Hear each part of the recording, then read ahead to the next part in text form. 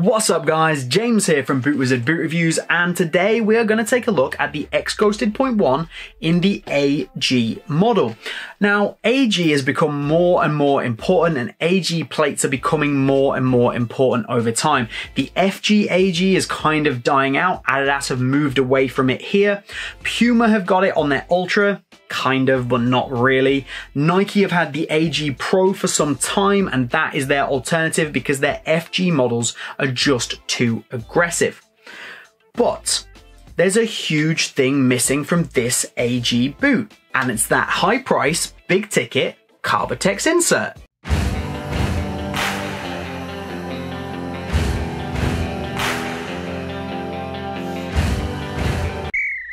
So firstly, why? Why is it missing? And it's because Adidas do something that most top end brands do with their AG plate in that they just have an AG plate that they transfer from boot to boot to boot. It doesn't matter what boot you buy in the Adidas lineup, you get this AG plate. It's kind of the same with Nike and their AG Pro. The pattern is the same. The studs are the same. They just change it up. And for example, in the Mercurial, you still get a split sole design. They have changed it ever so slightly on the GT and we'll see if that's something that goes forward where they've made the studs a little bit shorter. We'll see if that happens on future boots. But in this instance, this is exactly what you get from any AG boot. It's a new AG pattern that they have developed fairly recently. It came out with the Predator in January, but it's the same one. There's no difference. So all they've done is they've taken the X what X Ghosted Point 1 upper and slapped their generic AG plate on it, which on the whole people don't complain about too much. However, when one of your biggest ticket items is a Carbitex insert in the forefoot of your boot and you don't have it on the AG option, surely I'm getting less value for money here. These two boots are exactly the same price. Doesn't matter which one you buy. And if I need an AG boot, I'm probably going to be a little bit upset that I don't get all the bells and whistles just because I play on a different surface. There's nothing wrong with the AG plate as a whole, and it's actually fairly snappy and responsive for an AG plate, I can't really complain about it too much. It's only when you put it up as a comparison to the point one that I'm like, well, why would I buy that when I want this? Like, I want all of this because this is my favorite thing about the boot. So why have Adidas done this? Well, one of the most expensive parts of a boot to design and manufacture is the outsole. So by transferring an AG plate across all of their models, they do actually save themselves quite a bit of money. And in this instance, if they were to add the Carbitex insert 2 here, it would mean a brand new sole plate design. So even if they use the same, same stud shapes, same stud pattern, it would be a brand new design and that would still cost them yet more money. Of course, that's not really my problem. It's not really your problem either. If they want to put carbon fiber in, they should probably put it in the AG version as well. Or, in my opinion, they should charge less for the AG if you're not getting it. I think that AG plates are an area of football boots that are somewhat overlooked by brands as a whole. It's a very large industry of people who play on AG pretty much exclusively and the FG AG boot or the AG boot is something that they should really invest more time and money into because I believe that the demand is there. I wouldn't be surprised to find out that they sell more AG boots than SG boots for example and yet the SG has the Carbitex. So it's just a bit disappointing. There's nothing more to it than it's an AG plate on the brand new upper and it just isn't as good. It's just not. It's that simple. Now, you could make the argument that maybe putting the Carbitex insert into the AG boot would make it more aggressive, would make it stiffer, and therefore it's not actually safe to have in an AG boot. You could also argue that due to the increased demands of an AG pitch with regards to durability, the heat, and anything like that, it would have an adverse effect on the carbon fiber insert. But I would then say that it's still down to Adidas to provide you with a product that's of equally high quality or at least equally high technical design rather than just here is the Predator 20 AG plate, whack it on there. You could have the, the carbon fiber in here, but not have it exposed.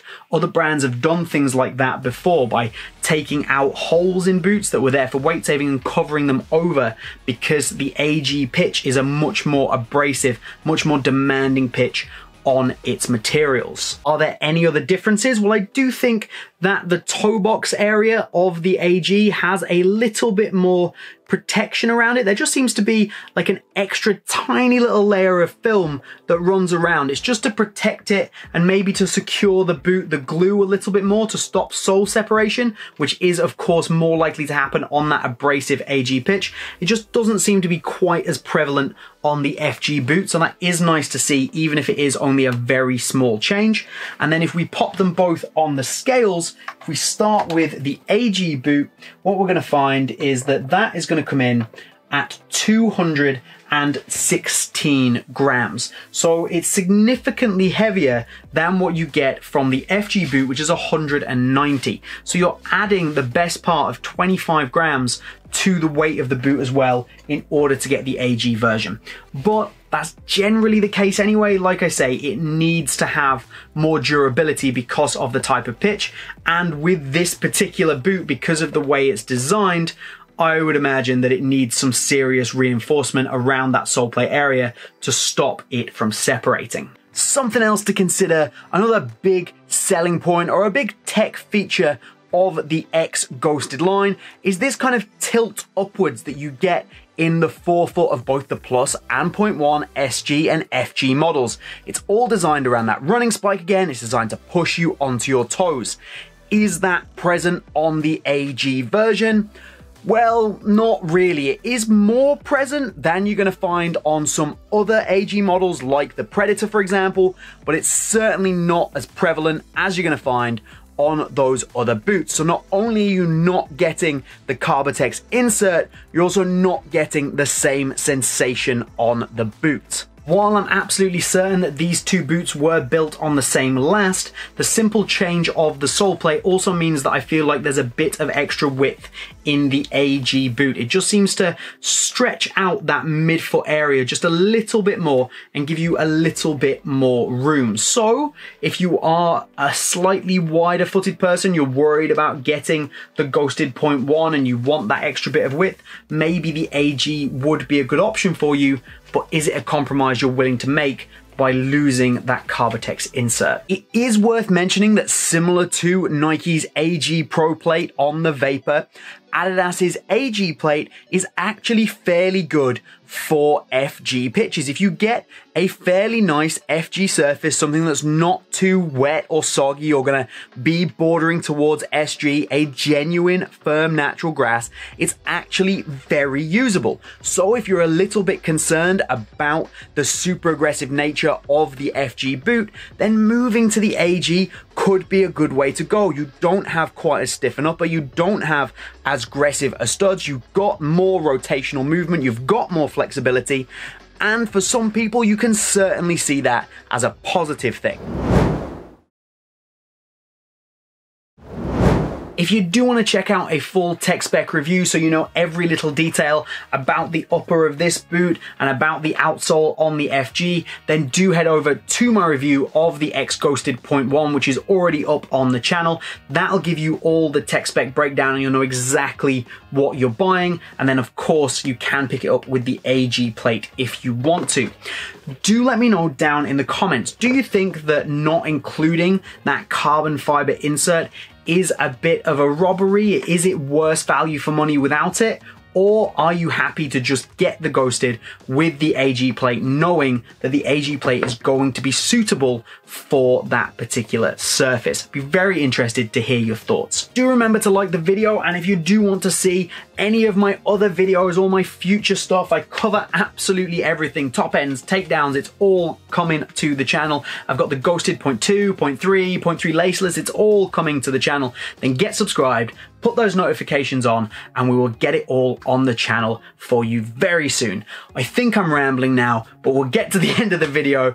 I hope you've had a good day. Ghosted, laceless, I don't know what's happening anymore. We will see you soon. Bye.